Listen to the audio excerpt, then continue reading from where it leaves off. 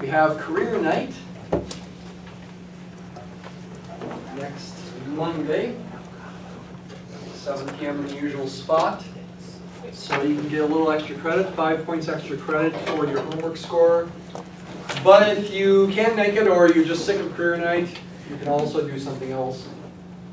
You can do number 15 from section 6.1 by next Wednesday. Actually, you've got the tools to do that problem pretty much right now, so you could do it before the too. Andy? Do you know who's coming to it this year? Um, I did, no, I know Casey Moss is coming, one person. Um, I'm not sure about the others offhand. I can send it to you, just see who's coming here. Okay. Looking ahead again, um, let's see, today is what, Wednesday the second? We have our third exam two weeks from this Friday, so sixteen days from now, November eighteenth, is the third exam. It's going to cover mostly chapters five and six, probably some of chapter seven as well. We will get to chapter seven. I'm not exactly sure how far into chapter seven that we'll get before the test, but that will be on the test as well.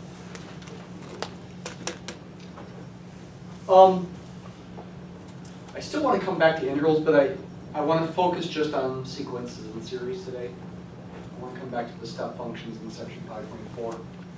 But let's focus on sequences and series. We've got to start with the definition.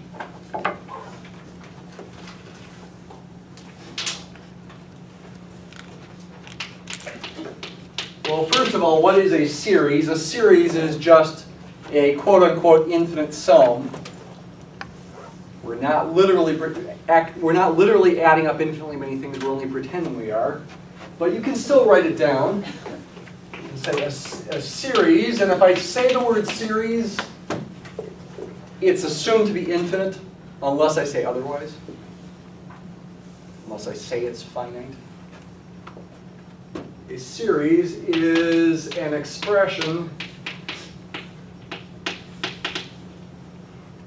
of the form,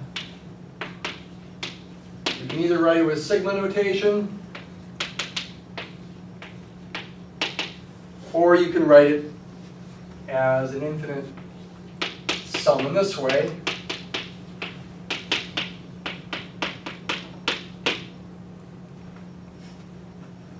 Okay, so as it stands, it's just a it's just symbols. Okay? It's just an expression, a mathematical expression corresponding to any series like this is a sequence, sequence, chapter 2, of partial sums, sequence of partial sums, Sn where Sn is the sum of the first terms of the first n terms of the series. I'll use a different index of summation. I'll use a k instead of an n. Like that. Actually, when I say it's the sum of the first n terms, that's not technically always true. Because sometimes we're going to start our index at 0 and then it'll be the sum of the first n plus 1 terms. The last term of the nth partial sum will be an. Actually, the k equals 1 and k equals 0 is really arbitrary. I could start k at negative 17 or positive 43. It doesn't matter where you start k. The nth partial sum, assuming n is greater than or equal to whatever that number is, is the finite sum where the last term has a subscript of n. we say that the infinite series converges, this is a definition still, if and only if, I'll just write it as an if, but definitions really are if and only if, the sequence of partial sums converges, and the, the series diverges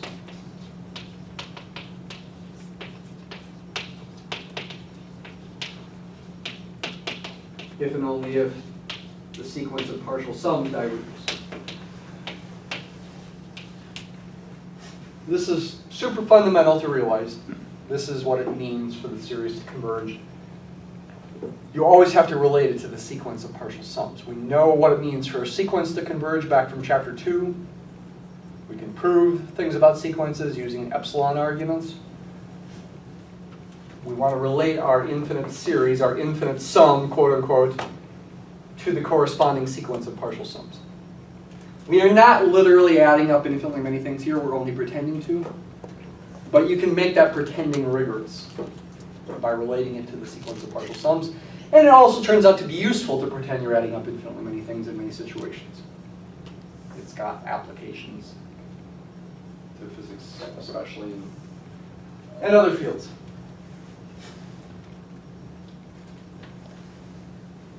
Okay, that's what a series is. We considered one example last time. Let's consider another example.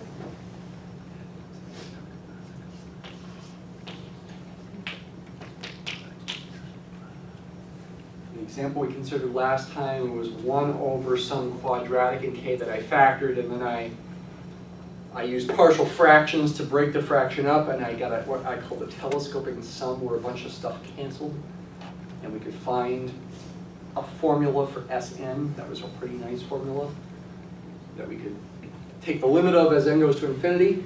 Let's do a different example. Let's consider the series um, k goes from 1 to infinity of 3 times, oh, 2 sevenths to the, let's make the k minus 1 power. You should be comfortable with summation notation or sigma notation. But you can always also feel free to write it out if that helps you. It usually helps me, so I usually do take the time to write it out, the first few non-zero terms. When k is 1, you get 0 power there. 2 sevenths the 0 power is 1, so you just get 3. When k is 2, you get a first power there, so you get 3 times 2 sevenths, which I will go ahead and multiply out to get 6 sevenths. When k is 3, you get 2 sevenths squared, 4 49ths, times 3, that's going to be 12 49ths. Let's do one more. When k is 4, you get 2 sevenths to the fourth power, to the third power, excuse me, when k is 4. 2 cubed is 8. Uh, 7 cubed is going to be what, 343? So, and 8 times 3 is 24. There's the first four non-zero terms, if I have not made a mistake. Seem to be making lots of mistakes recently, so make sure you're trying to look for mistakes here. This kind of series has got a name. You remember the name from Calc 2? Geometric. You've got a leading term, and then it's called the common ratio. You can think of the common ratio as what you need to multiply each term by to get the next term or equivalently what you, what you get when you take any term except the first one and divide by the preceding term. 6 sevenths divided by 3 is um, 6 over 21, or 2 sevenths. 12 49ths divided by 6 sevenths is 12 over 49 times 7 sixths. You get cancellation. 2 sevenths etc. Yeah, it had to be. The 2 sevenths there. The common ratio for this geometric series is 2 sevenths. What does this converge to, and, and does it converge at all? Do you remember the answer from Calc 2? Let's just jump to the answer, and then we'll derive it. You remember what this converges to? It does converge. I guess I gave that away. R to the n, n plus 1 minus 1 over r minus 1. Sounds like you're thinking of the finite geometric series Oh. formula. So 3 over. Sometimes written like this, a over 1 minus r, or a over 1 minus x if you call the common ratio x. a being the first term, so that's 3. r, the common ratio, is 2 sevenths. So this is 3 over 5 sevenths, which will be 21 fifths. Looks like it converges to four point two. Close that bit.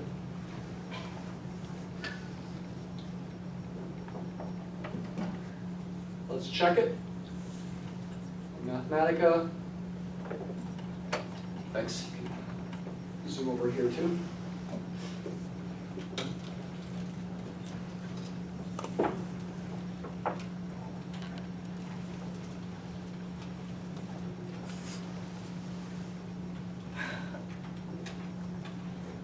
21 fifths.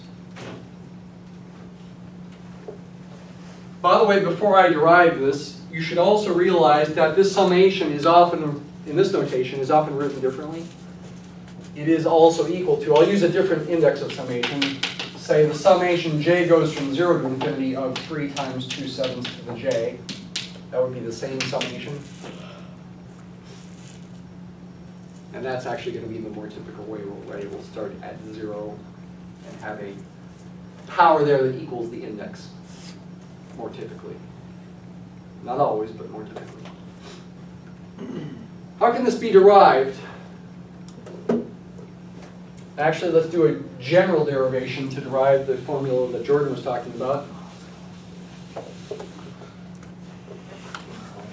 Let's consider a general geometric series. I think I will go ahead and use the index starting at zero here because that's what the book does.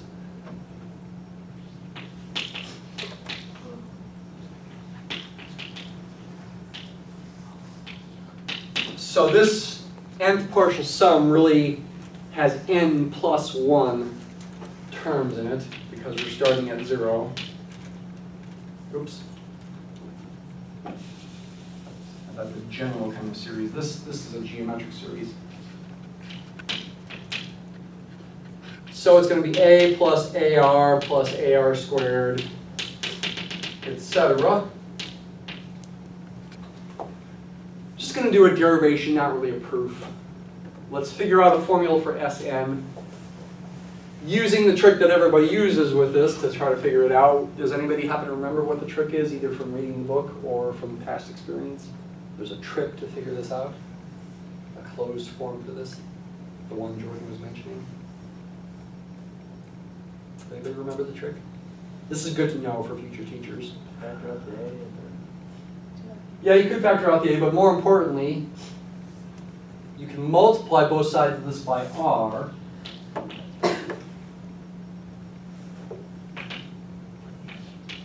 And rearrange things appropriately.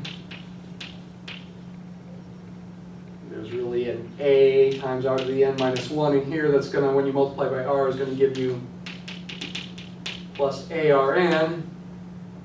And then when you take ar to the n times r, you get a times r to the n plus 1. Zoom in if that's too small. Now subtract one equation from the other and a bunch of stuff cancels. That's the trick. And this trick always works this way for geometric series. And you can do it in the general case and you can also do it for specific cases. Subtract 1 minus r times Sn will equal, bunch of stuff cancels. The only two things that don't cancel, oops, this that cancels with that. The only two things that don't cancel are the a and the a times r to the n plus 1.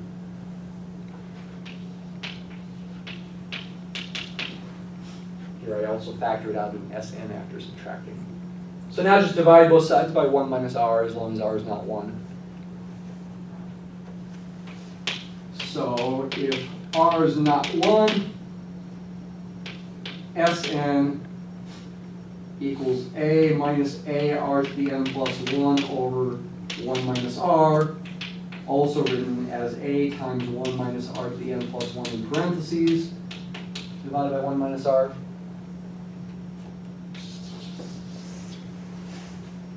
What if r does equal 1?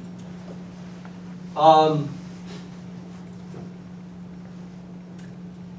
then it's actually simpler. If r does equal 1, you're really adding a to itself n plus 1 times.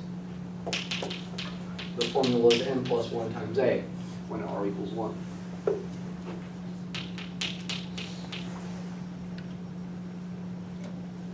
that's actually an easier case. This is what you might call a finite geometric series, emphasis on the word finite. Again, if I don't put the word finite in there, it's assumed to be an infinite series in general. If I just say series, it's assumed to be an infinite series, an infinite quote-unquote sum. This is a finite geometric series. It is the partial sum, the nth partial sum for the infinite geometric series that you would be considering in general with an infinity there.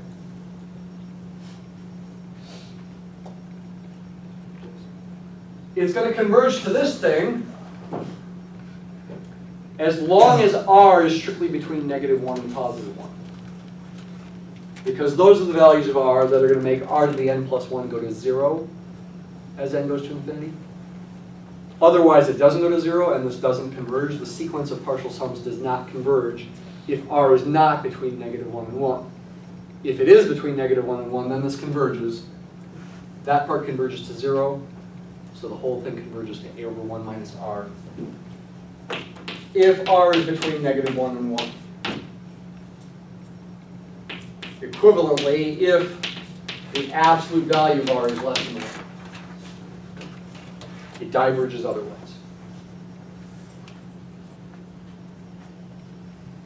Okay, that's a fundamental thing to know for the rest of your life. You should always know that, right? Future cocktail parties. Somebody asks you, what's the formula for a geometric series? You're a math major, let me know. You should know, you should be able to tell them. Okay? Both for the infinite case and for the finite case. Okay? It does work here if r is 2, as long as it's between negative 1 and 1. If I pick negative 2 sevenths instead of positive 2 sevenths for r, then what would I get? I get 3 over 1 plus 2 sevenths, 3 over 9 sevenths. That would be 21 over 9. Nope. Uh, yeah, I guess it reduces. 21 over 9 reduces to 7 thirds.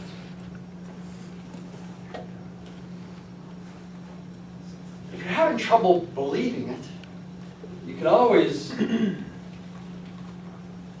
be looking at the partial sums and what happens to those. Can look at these values. Let's go ahead and just approximate them.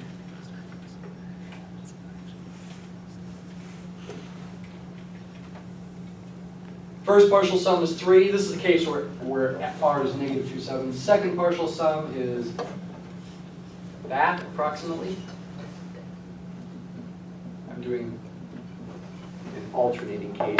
3 minus 6 sevenths plus 12 49ths minus 24 33 over over 343. 3 minus 6 sevenths is approximately that. Plus another 12 49ths minus 24 over 343, etc. We do seem to be approaching 7 thirds. Of course, any finite sum here is not going to actually equal 7 thirds. And if you looked at more decimal places, that would be clear. But there, well, uh, even once we get up to 50, we do match an approximation of to 7 thirds to that many decimal places. Okay, or more.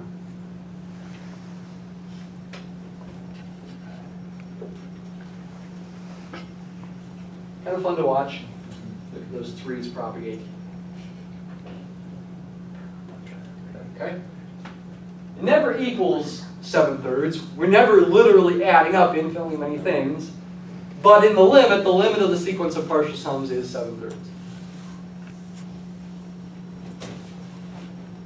Oh, one more try. Let's make that a thousand. Oh, wow. That was fun. Make it more like five hundred.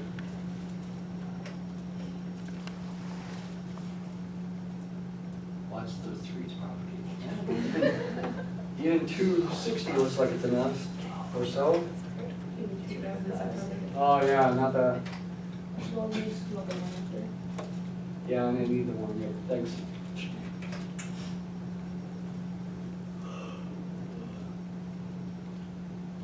Okay.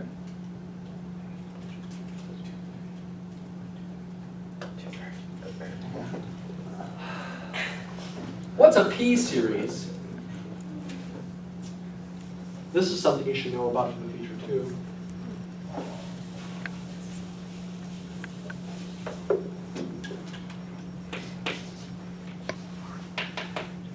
Sometimes I'll use N, sometimes I'll use K, sometimes I'll use J, maybe I once in a while for my index of summation.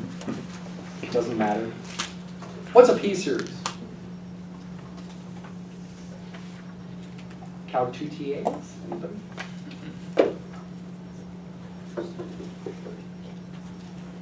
Actually, I'm teaching Calc 2 and I know none of you guys are my TA. Okay, well, past TAs.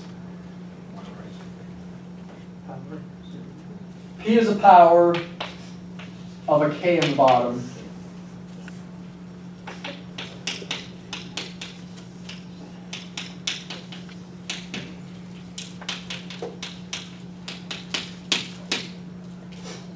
Series. You should know, this is a fact you should know for the test as a come up as a true false or multiple choice question. This question, this converges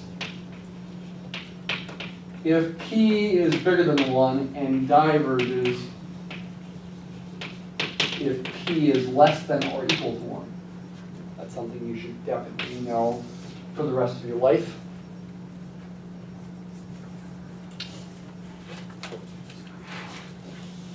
In the case where P is 1, it's even got a special name, it's called the harmonic series, yeah.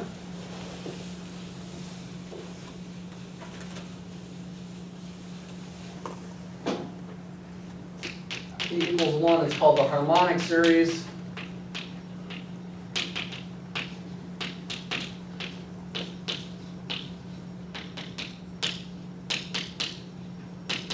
One plus a half, plus a third, plus a fourth, etc. And it diverges, because it's, it's in that case. You should always know the harmonic series diverges. In calculus, the easiest way to prove that is with the integral test, where we relate it to a certain improper integral, improper integral of 1 over x, which in, gets you the natural log of x function involved when you evaluate the integral, which doesn't converge as x goes to infinity. Uh, we don't do integral testing here because our integrals are gonna, only going to be proper in chapter 5. We're not doing improper integrals. I, I suppose we could, but we're not. So we don't do the integral test. How could you prove this diverges without the integral test? Well, you can use tricks. See, I think a common trick to use here is to consider a subsequence of the sequence of partial sums and show that subsequence diverges. And the subsequence people typically consider, I believe, trying to remember here,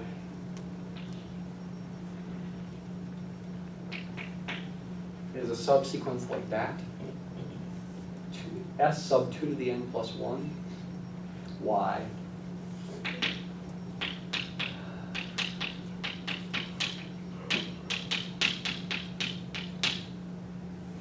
I think that's what they do. I'm trying to remember here.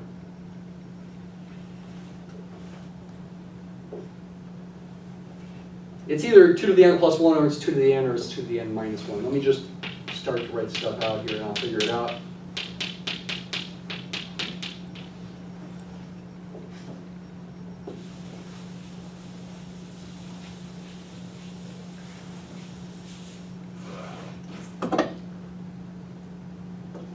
Actually, I think we can go ahead and consider s sub 2 to the n. I'm going to do a bunch of writing here.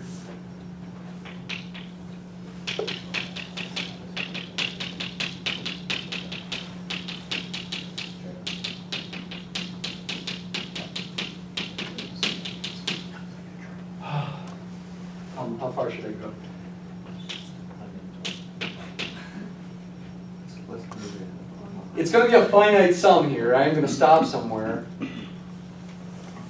I'm wanting to group these terms together in the following way.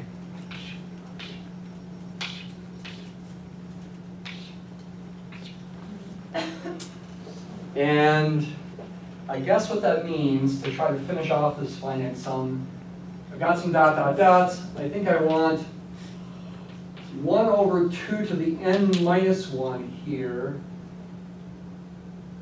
And then a one over two to the n minus one plus one like that. Then a one over two to the n minus, uh, plus two, to the n minus one plus two. Can you see this? We're good, okay. Et cetera there, the last term here being one over two to the n.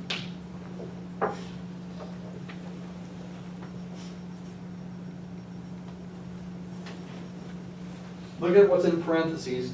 One third plus one fourth is bigger than or equal to one fourth plus one fourth, which is a half.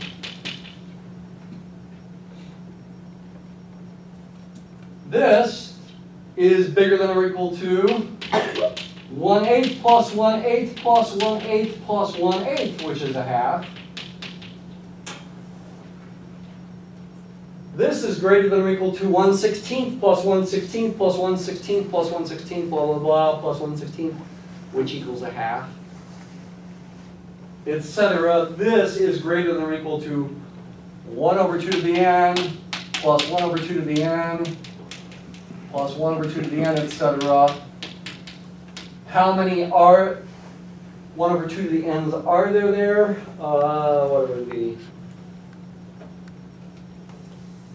I think there should be 2 to the n minus 1 of them. So this equals a half as well. 2 to the n minus 1 terms.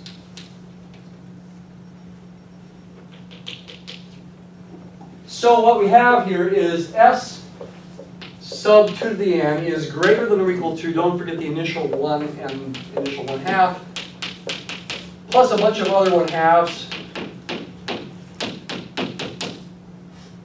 How many 1 halves would there be there? Uh, one there, two, three, this is the fourth 1 half with a 2 to the fourth power there in the bottom. We should have n 1 halves, it looks like. This is true for all n.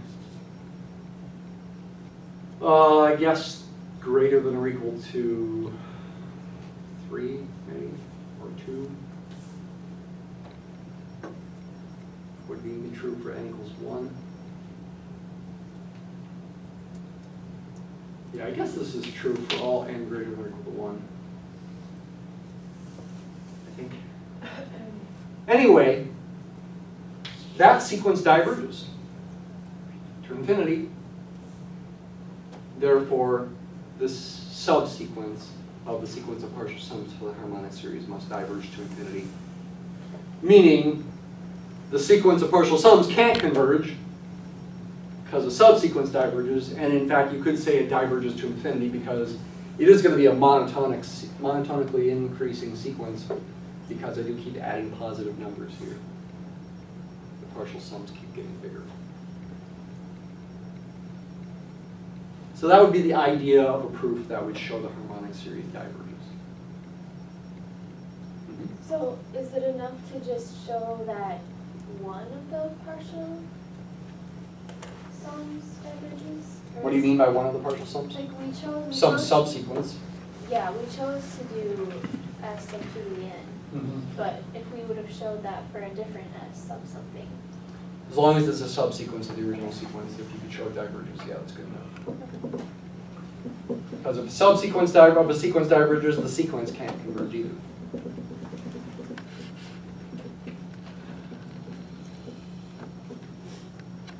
A subsequence can converge when the original sequence doesn't. But if a subsequence diverges, the original sequence will also diverge. And if the original sequence converges, every subsequence will converge to the same thing. All right, so these are real basic fundamental things to know. What else?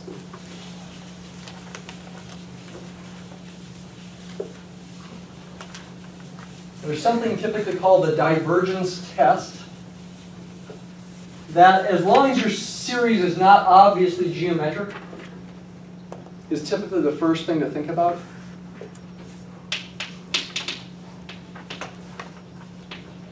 Divergence test. I'm going to state this as a theorem, and it is a theorem, though you're not going to see the word divergence in there anywhere. The divergence test is what I want here. Um, here's the way I'm going to state it initially. If you've got a series, I guess I'm going to K's here, that converges, then the sequence of terms of the series, not the sequence of partial sums, the sequence of terms, the A's,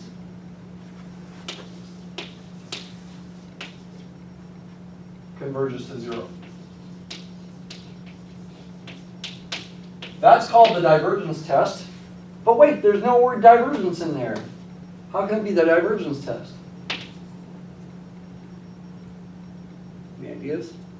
Why, why would I call this the divergence test? I like doing this contrapositive. Yeah, that's it. Exactly. Contrapositive. If the sequence of terms doesn't converge to zero, then the series diverges. Contrapositive means the same thing. It's equivalent, so if this is true, then the contrapositive is true. If the sequence of terms does not converge to zero, so it might converge to some other number or it might diverge, then the series diverges. So this is the, always the first thing you should check if you're given a particular series, as long as the series is not obviously geometric or obviously converging or diverging for some other reason. This is always the first thing to check. You know, you might have something like this.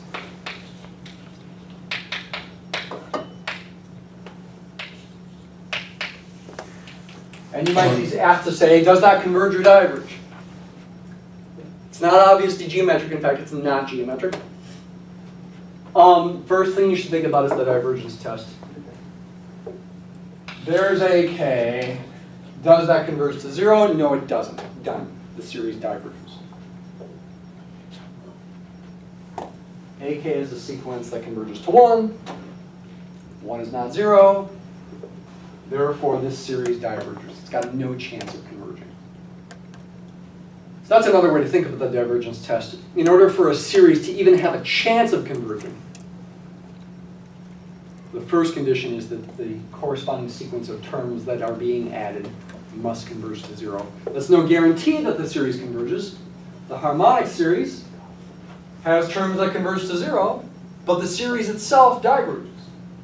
Right? Make sure you make the distinction between the series and these two sequences, the sequence of partial sums and the sequence of terms.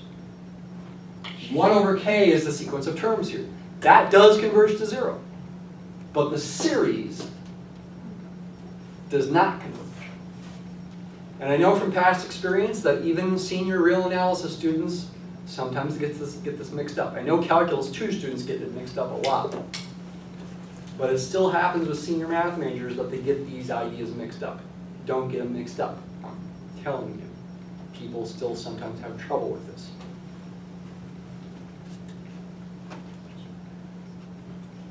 This one pretty obviously doesn't converge to zero. There might be some other examples you could come up where it's not so obvious, but it still should be thought about and checked. As another example,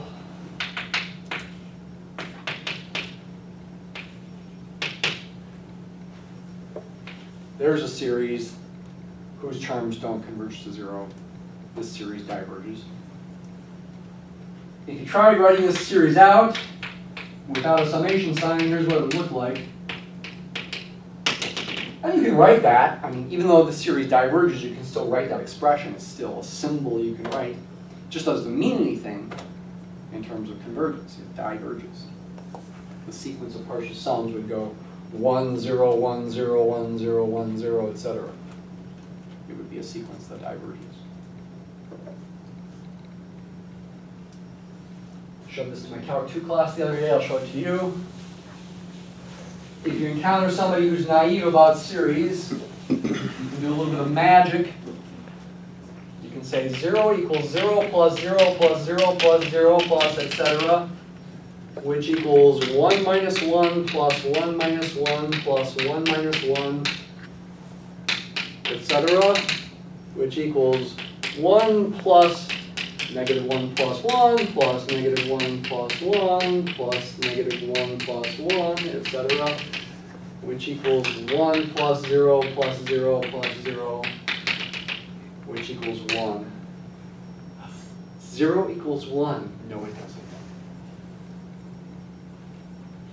The mistake is right there. You can't use the associative property for this particular series.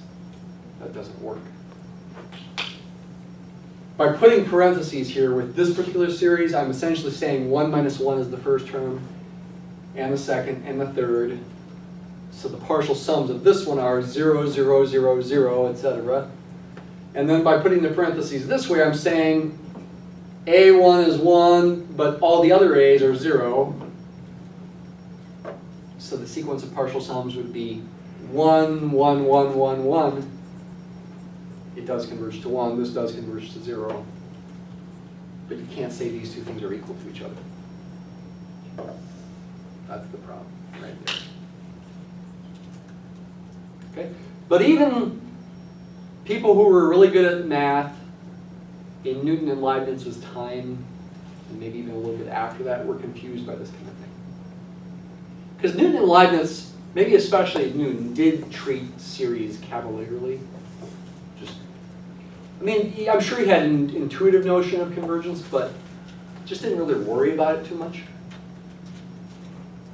He was deriving such powerful results, not really worrying about convergence, that you know, he was intoxicated by the power, I suppose. I Actually, not just Newton, everybody of that time period from say, from say 1650 to 1800, for about 150 years, people, including Euler, for example, treated infinite series and infinite products in kind of a cavalier way. They didn't really worry about convergence. Again, they probably had an intuitive notion of convergence. I'm pretty sure they did. But they just didn't really worry about it too much, is my take on it, though that might be historically somewhat incorrect. I'm not an expert.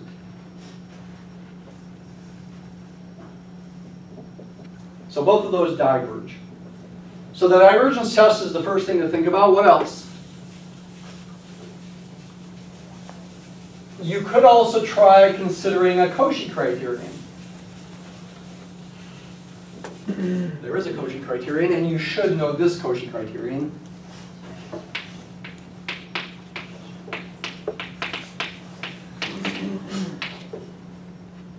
Um, you know, we did the Cauchy criterion back in chapter 2 defined a Cauchy sequence, and then the criterion was that a sequence converged, a sequence of real numbers converges to a real number if and only if it's a Cauchy sequence.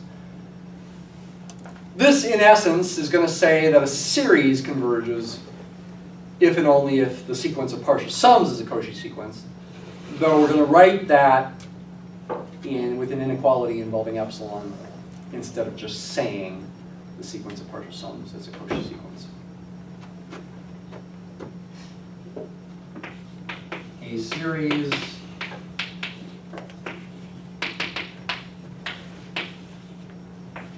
converges if and only if, again, I could just say the sequence of partial sums is a Cauchy sequence, but I'm going to write it like this. For all epsilon greater than 0, there exists a capital N, positive integer, such that um, the absolute value of the following sum k goes from m plus one to n of a sub k can be made less than epsilon.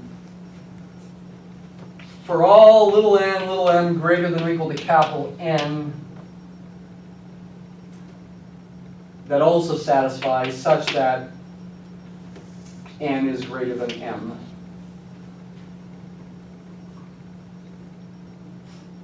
So that we actually do have a sum here. If, if n equaled m plus one, it would be a sum with just one term. So this condition, this such that is just so that this summation makes sense in the way it's written. Key thing is this. This could again be stated as saying the sequence of partial sums is a Cauchy sequence. Because when n is greater than or equal to m, greater than m, Sn minus Sm would be this summation minus this summation. And if n is greater than m, a bunch of stuff would cancel here. All the a, k's, k going from 1 to m would cancel. And this would equal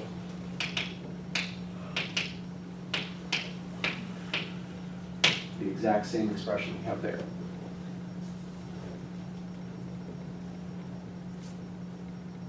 Okay, so again, once more for emphasis, this could be stated as saying the series converges if and only if the sequence of partial sums converges.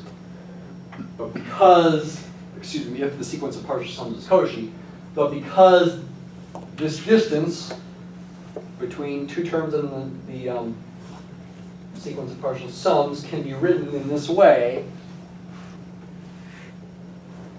you can also state it this way. And sometimes that's convenient. Another important theorem from chapter two, besides the Cauchy criterion, was the fact that a monotone sequence converges if and only if it's bounded. You could also say a monotone increasing sequence converges if and only if it's bounded above. And a monotone decreasing sequence converges if and only if it's bounded below.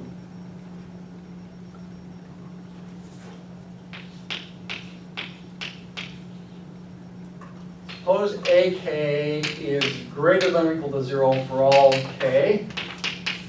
So our series is going to have non-negative terms.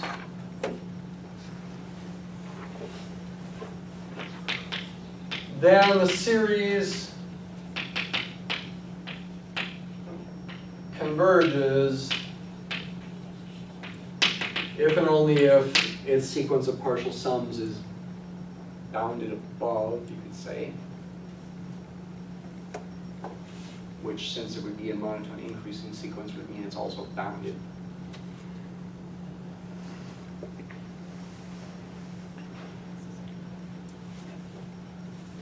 I could try to write that as more definition-like, or I could just, like the book does here, just say the sequence of partial sums is bounded above.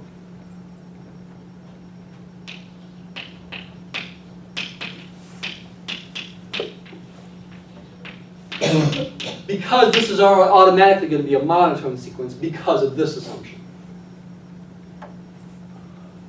It's already going to be a monotone increasing sequence.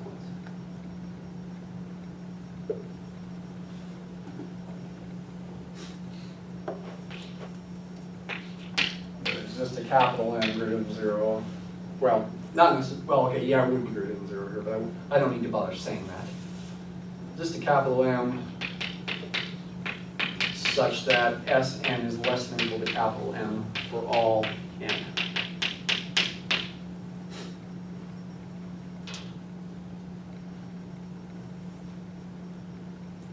This can be proved, in fact, it's one of your homework problems to prove this, pretty easily, using the fact in chapter two that a monotone sequence converges if and only if it's bounded, and in fact, you could just use the version that says a monotone increasing sequence converges if and only if it's bounded above.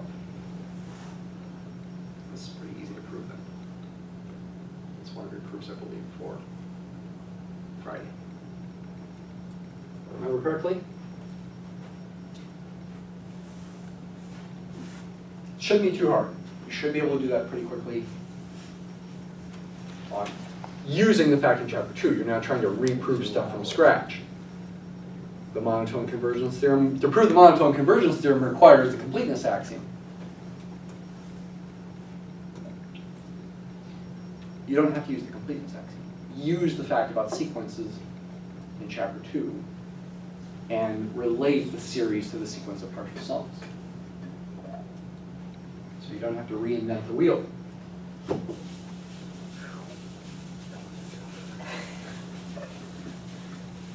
You're glad you don't have to reinvent the wheel? Yeah. We're not starting from scratch anymore here.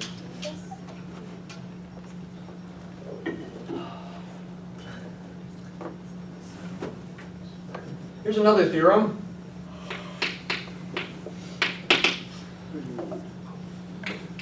Suppose you've got two series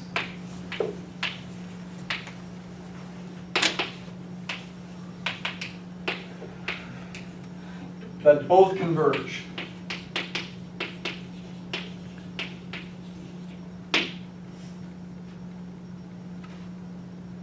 Well, and suppose C is a constant. C is an arbitrary real number. Two things you could say. The series whose terms are AK plus BK converges. And you can also say what it converges to. It converges to if you go ahead and think of these series as converging to numbers and say they equal numbers, you could add those numbers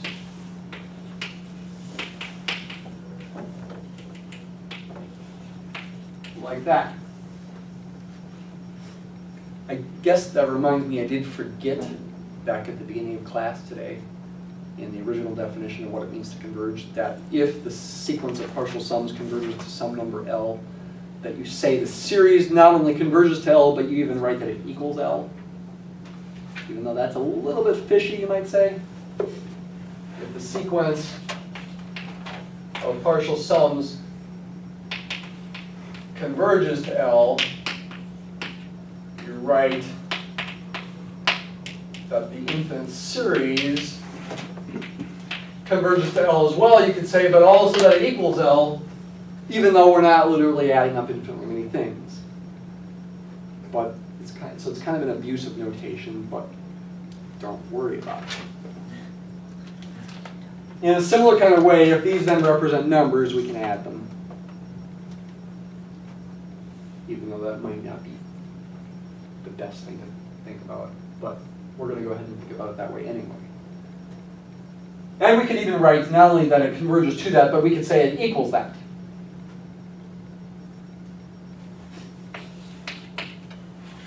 And the other property would be that the sequence whose terms are the constant times, say AK, converges to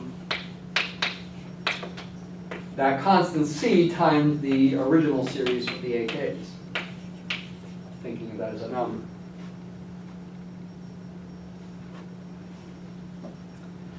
Um, these are not too hard to prove. They're based of, uh, on facts about sequences from chapter two. I'm not going to prove them fully, but let's just think about the first one here.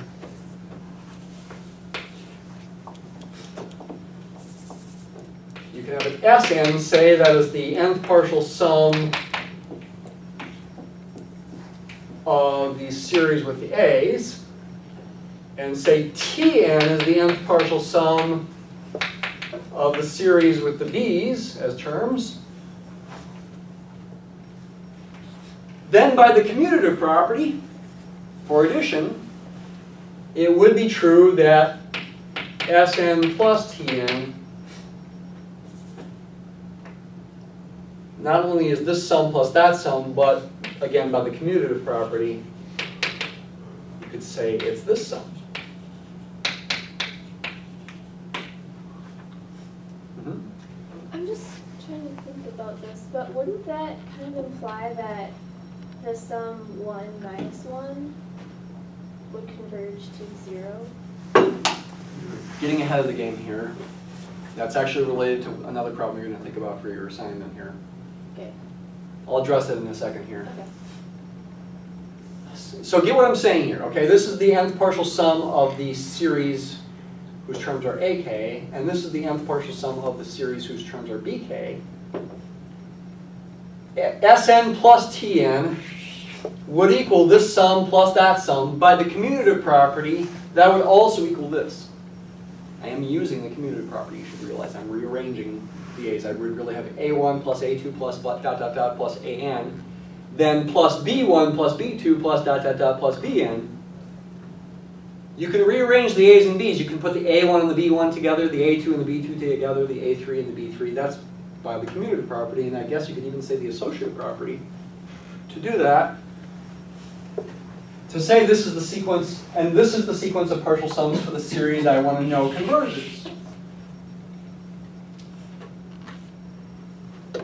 You know these two sequences converge, Sn and Tn, because you're assuming these two series converge.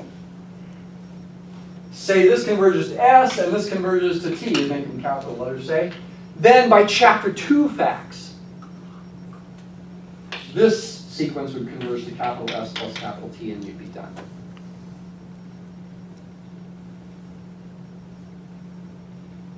Chapter two facts coming to rescue again. Okay, yeah, Felicia's question here. Um,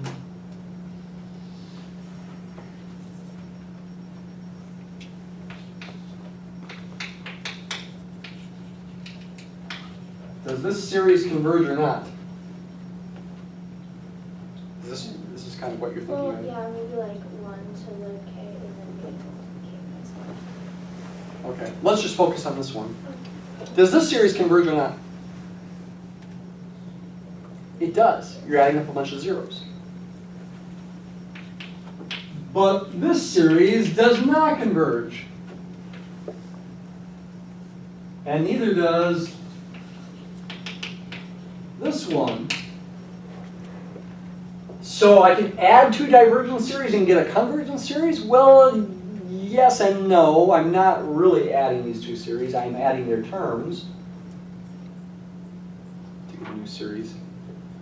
It's not contradicting this, because in this theorem, I'm assuming these two series are converging, whereas with the, this example here, these two series are diverging. It, it doesn't fit the theorem. But yeah, in a sense, you can add or subtract two divergent series and get a convergent series. In this sense that these two diverge and this one converges. Gotta be careful about how you're saying things. All right, have a good day. See you on Friday.